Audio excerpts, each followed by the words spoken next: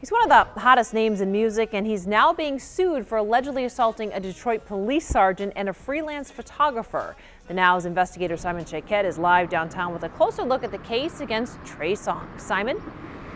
Heather Trey Songz is being sued under his real name, Tremaine Neverson, according to a federal lawsuit here at Joe Louis Arena.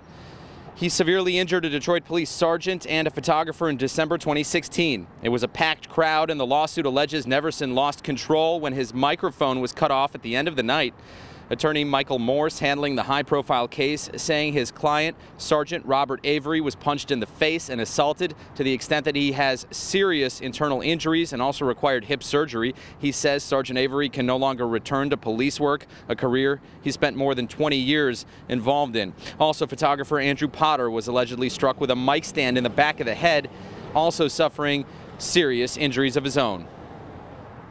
If a regular person walks up and punches a, an officer, I think they would be in a lot of trouble. And he is on probation for a long time because of this. I don't know how seriously he takes this. Um, we haven't taken his deposition yet, but if you look at his social media feeds, there's a lot of negativity towards the police, and I'm not really sure why.